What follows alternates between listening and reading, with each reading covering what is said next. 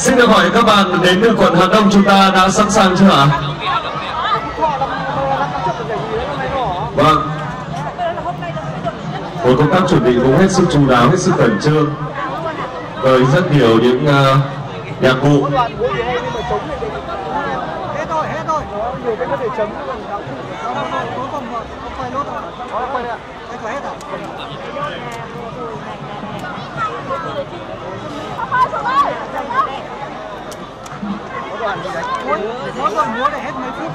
và bây giờ chúng ta sẽ cùng hướng lên sân khấu để chào mừng phần dự thi của đơn vị cuối cùng đơn vị quận Hà Đông xin mời các bạn